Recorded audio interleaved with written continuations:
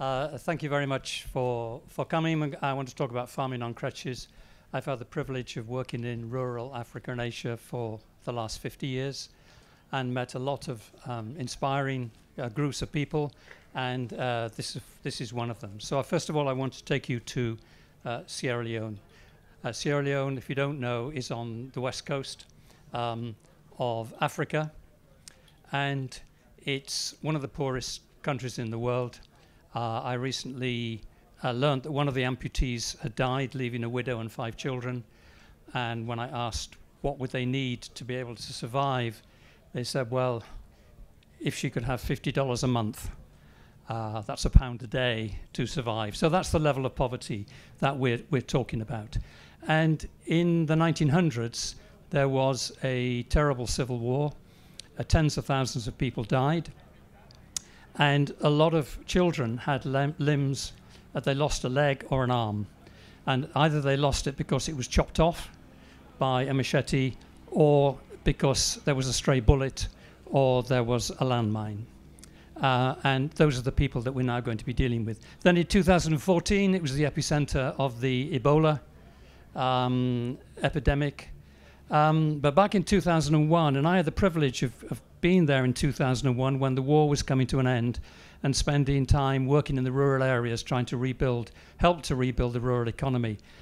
And completely unbeknownst to me, a young man called Mahmoud Samai started a thing called the Sierra Leone Amputee Sports Association to try and bring these young people together who've only got one leg um, to believing that sport could generate, help them with their recovery. And uh, last year, uh, started a 10 acre farm. And that's the story we're going to talk about now. But first, I could just take you back. Those of you who've not been in a, um, a war zone, uh, it can be quite terrifying. You meet groups like this and you don't know who they're loyal to. You see terrible uh, physical destruction of, of homes. That's a, a, friend of mine. You see schools destroyed. And on the right, you see a, um, a school uh, made of tents. All the children in all the classes are in that one tent. Um, and then, if you've heard of blood diamonds, just to give you an idea, uh, blood diamonds come from various sources, but these are alluvial. And what happens is, during the dry season, people put sticks in the river, and this slows down. Uh, when the rains come, it slows down the water. The alluvial in, in the soil drops down into the uh, into the riverbed, and then in the dry season uh, they go and dig it out, causing huge damage. Then they spend the dry season sifting through the the alluvium there to get the diamonds, which they then sell to agents who sell to us, uh, and that in turn finances the war. Um, this is actually Liberia. I also was involved in Liberia during the civil war there, and um, this is rubber, which is the mainstay of the economy, and this is slaughter tapping. Now, normally when you when you like when you graze, you leave the grass time to, to, to recover, and just the same with rubber. When you tap the rubber, you um, allow the tree to recover. But the two groups, the people who are desperate for food, and the various armed gangs who want money, they do what they call slaughter tap. And slaughter tapping is this continual tapping of the rubber until, of course, the rubber trees then die. Um, some of the victims of the war, if you ever wonder what a child soldier is, well, those are particularly young ones, but those are nine years old, and they would have carried uh, a gun. Uh, um, fortunately, they've been they've been uh, recovered. Um, down on the bottom right, you see um, typical refugee camp, and then above the the amputee footballers, which you'll see again just in a moment. Again, th- this is in Liberia, but everywhere you go, you see signs where um, just pictures of children saying, "Have you seen my mum and dad?" Um, these are every everywhere you go. There are artillery shells. So I paid these young boys something to collect the artillery shells. Um, we brought them together, and we got a blacksmith to cut them in half, and we made them into vegetable knives and uh, sold them at 30p each. So something positive came came out of that. So these are the amputee um, footballers. There's 350 of them. They're men uh, and women, boys and girls. And in 2012, I took my son, who was then 16, just finished his O levels or GCSEs. I took him to Sierra Leone and we met the amputee uh, footballers on the beach at Lumley. And in 2014, they got through to the finals of the World Cup. And they asked Tom, my son, to write their um, anthem or theme song for them, uh, which he did. Um, but then, well, you'll see what happens. But anyway, this is what he wrote, and this is give you some idea.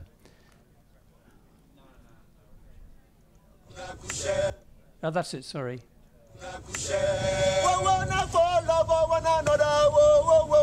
Sierra Leoneans love one another. Sierra Leoneans love one another.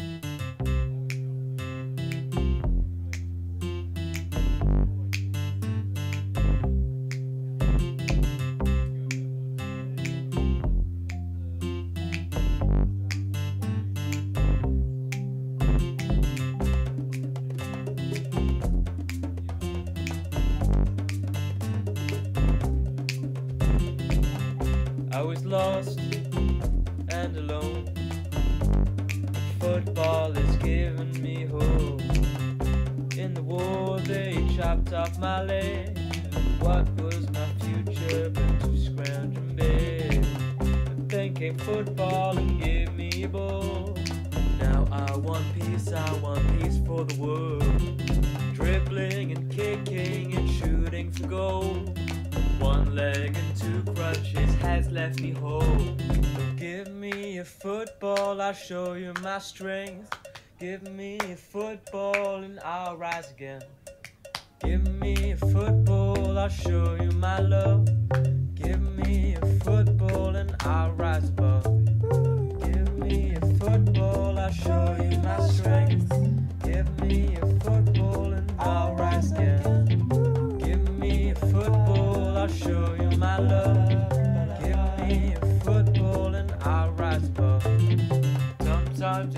hard because life gets down. But you've gotta stand up, not get kicked around. Though there is hardship and pain in my chest, I can still stand here and fight with the best now.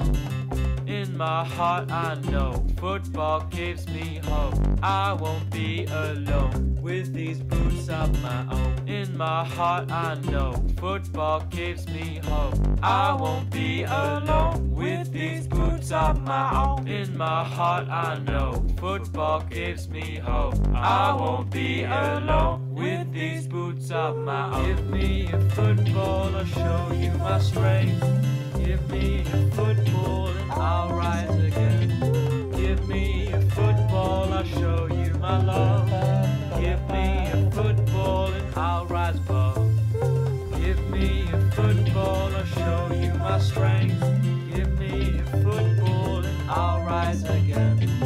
Give me a football, I'll show you my love. Give me a football and I'll rise above. So that was 2014. Um, well, since then, the, the movement has grown, and, in addition to playing football, they also do a lot of peace building work. Uh, peace building work because they're acutely conscious um, of the effects of war. Um, anyway, in, in 2010, Ban Ki-moon, who was then the UN Secretary General, gave them 10 acres of land to develop for um, uh, football and for entrepreneurship. They had no money. Um, in 2018, Mahmoud Samai had the opportunity to go to Japan for a year to the Asian Rural Institute to learn about permaculture, agroecology, call it what you like. Uh, he came up fired, out, fired up and wanted to develop the 10 acres for a farm, but they had no money. And so in January last year, we were able to get £20,000 from the Lush Foundation to develop this 10 acres as a farm and there you can begin to see on the left, on, on, on, on the right, the, the, the developer beginning to develop the farm. So first of all, putting in the security, then uh, you can see the sweet potatoes uh, on the on the on the right there. They're going in. They've built a, uh, a farmhouse, a farm office, a store, a training center, toilets, they've sunk a well, they put in solar power, solar pump. They have got um, uh, here you can see the solar pump. Down on the bottom left, you can see trickle irrigation going in. Um, this is the farm. And ju- but just to give you some idea of what it's like to farm on crutches, uh, this is uh, Mariatu. I work in the Abuti football farm. So I greet you in the name of the Father and of the Son, Jesus Christ. I did this work because I love the work. So thank you. God bless you. Okay.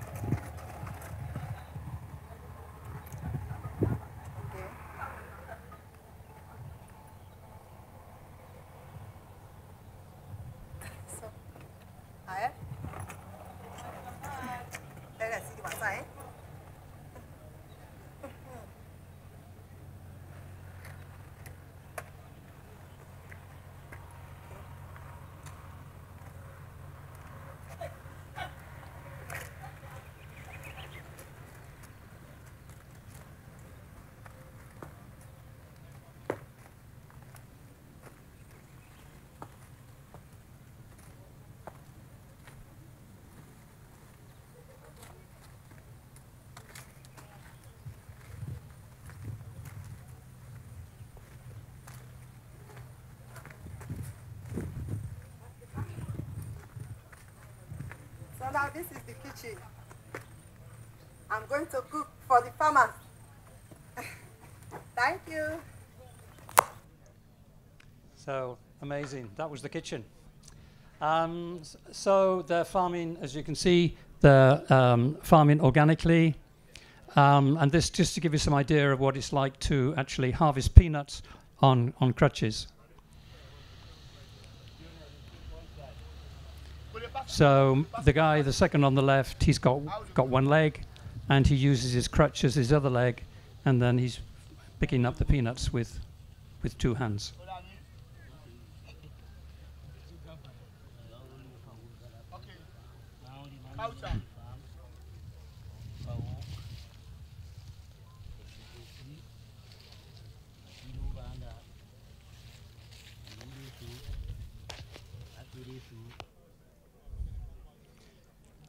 Right. So then uh, they make a lot of compost and they make bokashi. Um, and uh, they've also got the Soil Mentor app. And I hope if you're farmers, you've all got the Soil Mentor app and are using it on the farm because these guys are using it out in, uh, in Sierra Leone. Um, uh, and then I'll quickly go through this, but there's a, a PFLA webinar on making bokashi. But basically, they, they harvest the, um, the uh, soil microorganisms out of the tropical forest and they use it to make. So here we are. You take um, cooked rice, you put it in split bamboo, you put it in the forest to 18 inches for three days. By the time the soil bugs have then eaten the rice, but the bugs are left behind, you harvest the bugs, you then mix them with brown sugar, and then with rice bran and with soil, and you add water, uh, manure. Yeah, you you um, ferment it for about uh, five days at maximum 50 degrees centigrade. You then uh, harvest it, dry it, store it, and that is all that they use as fertilizer on the farm. And on the left, you can see them scattering the uh, bokashi, and on the right, that's Mahmoud in Japan, and that is rice produced entirely by bokashi. So just a few more pictures of the guys there with um, with their um, on crutches. That's uh, Lahai Makir, uh, one of the one of the footballers. Um, there again on the left, you can see them with the corn, and here this is Lahai again uh, making compost on crutches. Uh, there, that's Mariatu again, the lady you saw earlier. There she is harvesting uh, the maize. And then down on the right, one of her colleagues is seed saving. They don't buy any seed, all the seed is harvested on the farm. So then they have a program of working with uh, children from the local schools, teach them nutrition um, and uh, farming. They teach them how to make compost, uh, how to weed, how to harvest, and then lovely to how to celebrate. I think that's particularly lovely. They teach them they how to celebrate and learn that there is dignity in labour. Then they go home and influence their parents. Then also working with uh, farmers, bringing farmers, local farmers onto the farm. Um, this big focus on not using chemical fertilizer, the use of compost, so the farmers can avoid credit, because credit is the curse of so many small farms. They're encouraged to buy a hybrid seed and buy fertilizers. The drought comes, the flood comes, they get into debt. So the more that they can learn to to avoid those external purchases, the better. And I would think that's probably true of UK farming as well. Um, so there they are. That's training the farmers, uh, teaching them about permaculture, about how to grow a food forest. Um, particularly important, how to how to make good use of small spaces, um, and then down on the right, there they are um, saving seed, in that case of of peanuts.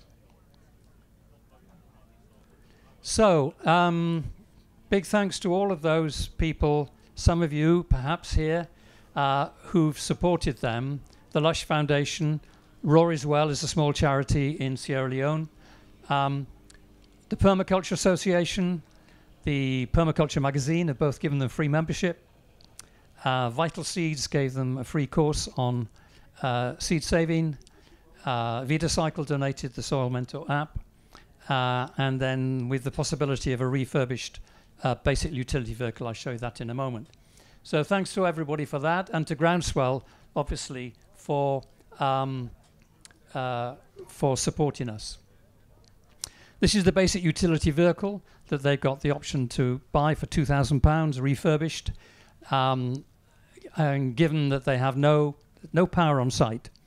Um, so all of the, everything that I've shown you has been achieved in a period um, of 15 months from scratch at a cost of £25,000, the cost of a small electric vehicle, perhaps.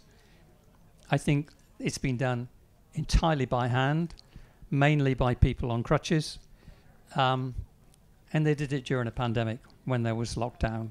So I, quite impressive, really. Things they want to do in the future, they want to complete work on farm.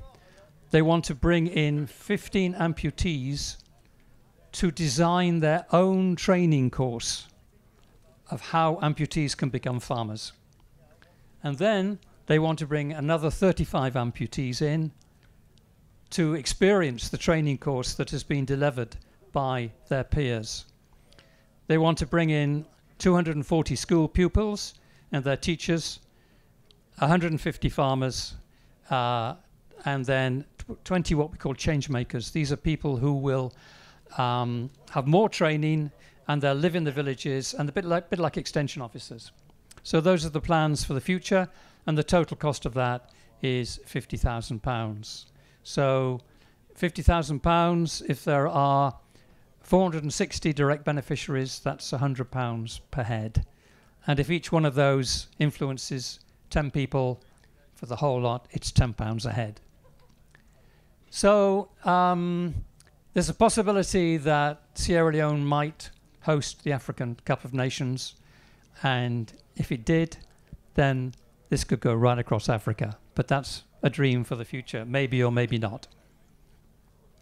So you can see the project creates opportunity, raises the profile of farming, increases biodiversity, um, it allows the farmers to become independent of purchased inputs and it helps to bridge the gap between the poor and the rich, bringing the community together. Um, and particularly important, it removes the need for external finance. So if you want to support them, there is a chip and pin. In fact, it's not at the PFLA stand, it's at the merchanting stand where, where you can buy your hats. Um, or you could go to the Groundswell website. Um, there's a link there, and it's also in the leaflets. Um, bit.ly farming on crutches. If you want a mnemonic, imagine you're talking to your partner. Uh, be in touch. Love you slash farming on crutches. Be in touch. Love you slash farming on crutches. Thank you.